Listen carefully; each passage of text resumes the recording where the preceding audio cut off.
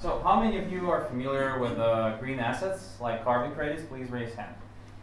Wow, that's great. You're a very smart uh, audience with very broad views because uh, actually while presenting uh, this uh, outstanding solution, I always experience problems because some of the audience are very familiar with crypto uh, and the other one is familiar with climate issues but not at all familiar with crypto. So uh, today we have the perfect match and we have both. That's great. let's move on. Um, yeah, so uh, this is a project. It's called DAO IPCI, which stands for the Decentralized Autonomous Organization Integral Platform for Climate Initiatives. Uh, it's kind of a, a, little bit nerdy name, but it's actually doing an amazing thing. Uh, it is, in fact, right now delivering uh, the only blockchain infrastructure for the various climate finance markets and their players. Uh, so uh, here you see the consequences of climate change here in Switzerland. The glaciers, glaciers are melting and uh, you see they're trying to cover those into in, in, sheets in order to prevent the melting. And unfortunately, global treaties like Kyoto and Paris Agreement are not coping with the climate change and national states are also failing to do so. Uh, and our only hope here is uh, new technologies and bright people who can implement them. So, um, what's the way to uh, combat climate change and pollution? How can we transfer from the old uh, uh, resources-oriented economy to the green, sustainable cities? Uh, what, what is the answer? Can you guess? automation? Um, yes, and also it's it's money.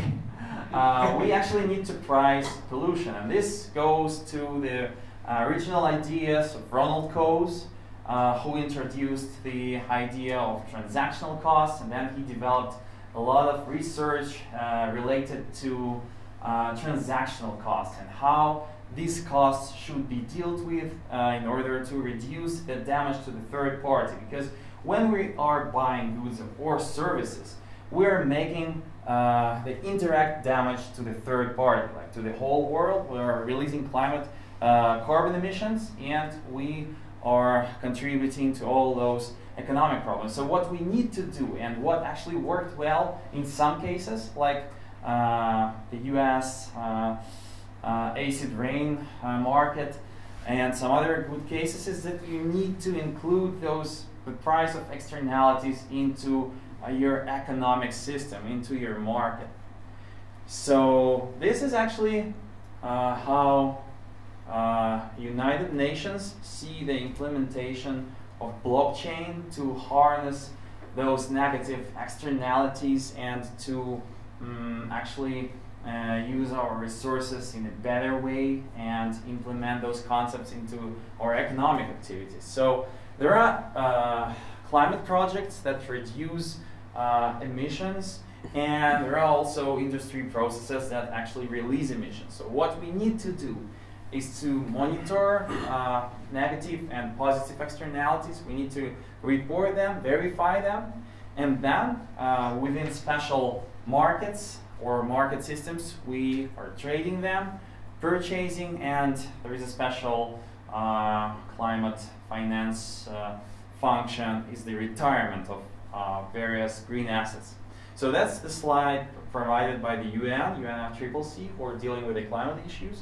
That's how they see uh, the implementation of blockchain.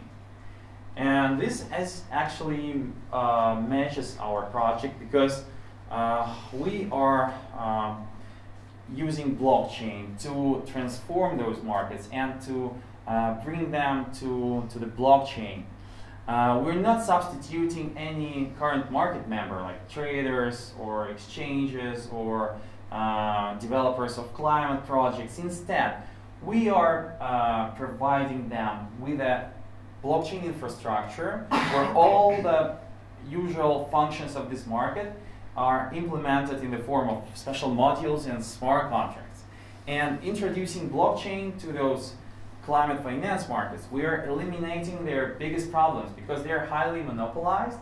They are related with governments and corporations.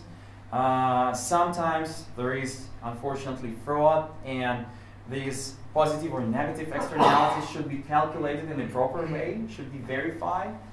And this is where actually blockchain is used perfectly. This is the perfect implementation for blockchain because it brings transparency, it brings uh, traceability from the very beginning to, to the very end, and it builds trust. And that's what we need to uh, combat climate change. So uh, these are the functions of the ecosystem, which is already working, and the project started back in 2016 with the help of climate experts and uh, our genius blockchain guys. So the ecosystem is currently providing for the issuance, trade, and retirement of various green assets like carbon credits. We actually made the first ever carbon credit transaction in blockchain, and I'm going to talk about it a little bit later. So tracking of environmental footprints and commitments is also possible. Uh, we have our special mitigation token, which is the in-house um, currency that is used to exchange different green assets one to another. And the most exciting feature is the possibility to put into blockchain any environmental programs that have criteria and established uh, standard framework. So uh, we can blockchainize any environmental program, notwithstanding its scale or scope. So starting from the Paris Agreement and uh, up to a, I don't know, corporate program or NGO environmental program, they can use our platform that is accessible through Ethereum browser and they can uh, totally transform their operations into blockchain. Uh, so this is the historical milestone in the climate finance area. This is all about the first ever uh, carbon credit transaction in blockchain. And the carbon credits were originated in Mauritius within a solar power project. It was verified against uh, uh well-known international carbon market standards. It contributed to UN uh, sustainable goals, sustainable development goals and it was done between a French trader and a Russian environmental uh, fund. So then we started to go further. We showcased our experience uh, at a uh, World Bank conference in Barcelona. Then we were invited to COP23 uh, in Bonn and to many other UN uh, events where we showcased the first transaction and then the issuance and this is what actually raised a lot of attention during COP because this is the first ever uh, attempt to open the climate finance stream to the unbanked, to those who never received climate finance. I mean the remote villages of uh, Chile. So when the villagers are putting on their solar panels, uh, with the help of smart meters and our blockchain, they are being rewarded with tokens. And this is not a fantasy. This is actually what is currently happening now in Chile. This is a working pilot, and you can learn more about that. Uh, this is about another pilot uh, with a French utility company that wants to re reward its consumers for the energy saving behavior. And this shows you that actually any, um, any entity can use our infrastructure to launch their own uh, decentralized environmental programs. Uh, the latest presentation of uh, our project was in Bonn at the pre-COP24 session, and it was presented to the second person in UNFCCC, Martin Frick, who admired uh, our use cases, and we have more than five use cases across the globe. And he also admired the uh, drone emissions monitoring, which is now uh, being done over the landfills in Russia. And it can also be used to um, actually measure the emissions from oil fracking fields. And uh, UNFCCC is very interested in that. Uh, I'm finishing my short uh, uh, overview with this slide, and this actually shows you um, that our ecosystem can uh, uh, actually provide infrastructure for the whole market And uh, this is also not a fantasy. And we have agreed with the government of Kazakhstan it's a country near Russia, a big country where there are a lot of natural resources. They ratified Paris Agreement, and they're doing a lot of smart city and sustainable development on the national level. So uh, we're now, uh, together with the World Bank and Kazakhstan government, are working on the first ever blockchain implementation for the whole market. Uh, I mean the carbon market and the emissions monitoring system on a national level. So this is uh, all very exciting and um, I want to pay your attention to, to this part.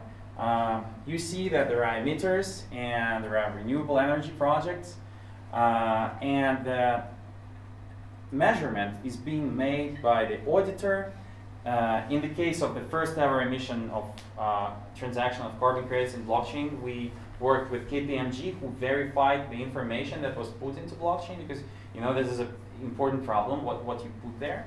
But we're uh, working on uh, uh, to substitute these guys with smart sensors and that's what we're doing in Chile. And while doing that, we're democratizing the way how uh, people and unbanked can receive the climate finance because previously it cost, uh, costed a lot to establish a climate project and receive this financing working with the high level international institutions. But now with the help of blockchain and these guys, we are opening a new climate finance stream and uh, many remote villagers and villages uh, can receive uh, climate finance for their sustainability oriented behavior. And uh, I'm finishing now, and my colleagues will uh, shed you more light on how uh, this technology is being implemented uh, in drone monitoring. Thank you.